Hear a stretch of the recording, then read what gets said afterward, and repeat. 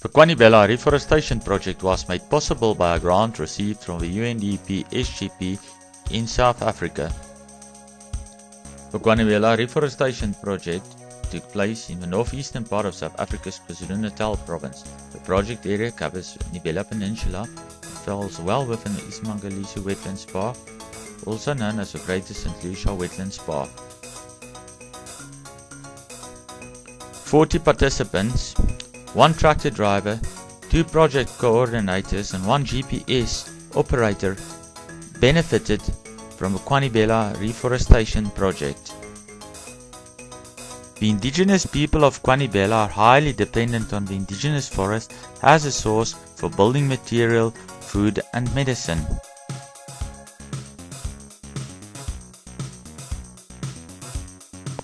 Poaching in the adjacent St. Lucia World Heritage Site is a rife and compromises the future status of the area as a World Heritage Site.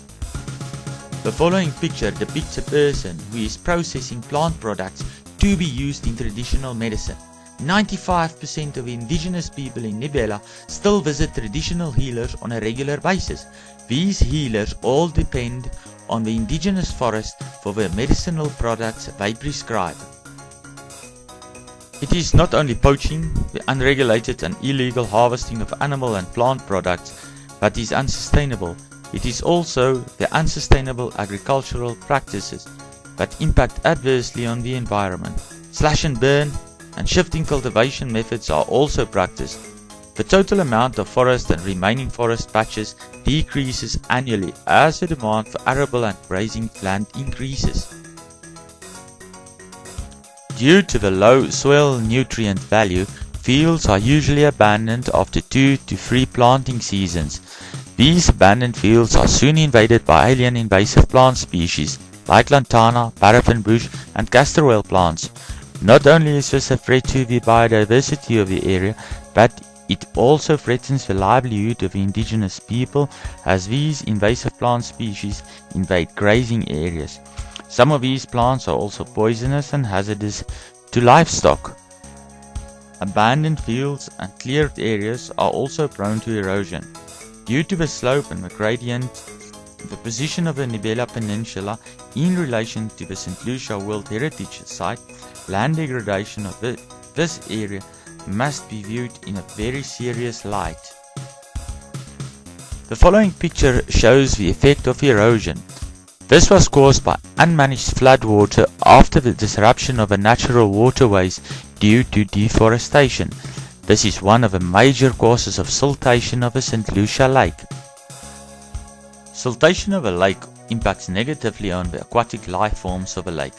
This in turn impacts on the indigenous fishermen who used to make a living from fishing. This picture shows dead fish on the shore of Lake St. Lucia. The death of these fish were caused by low water levels and hypersaline water conditions which were experienced in 2008 and 2009. Concerned and affected members of a community took action and launched a tree seedling propagation project. The aim of the project was to propagate as many as possible endemic tree seedlings. 15 unemployed women were trained in propagation techniques. Nursery bags were donated to them and all the seedlings propagated by them were purchased by the Kwanibela Community Trust. In this picture, Gogi Nomalu shows some of the tree seedlings she has propagated. Due to persistent water shortages in the area, these seedlings were transported to a holding area where it were transplanted into bigger containers in preparation for it to be transplanted in selected deforested and degraded areas.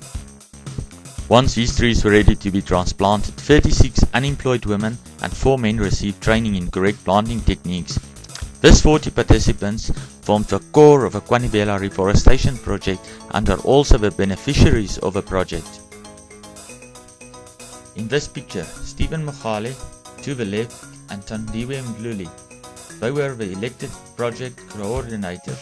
They identified all the planting areas. They have done a magnificent job in executing this project successfully.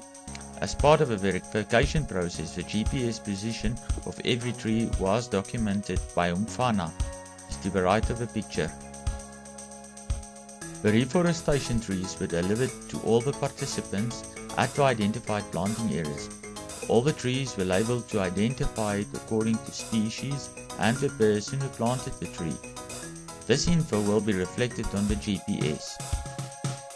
Not only have the participants worked, but family members readily assisted their relatives. This was truly a team effort.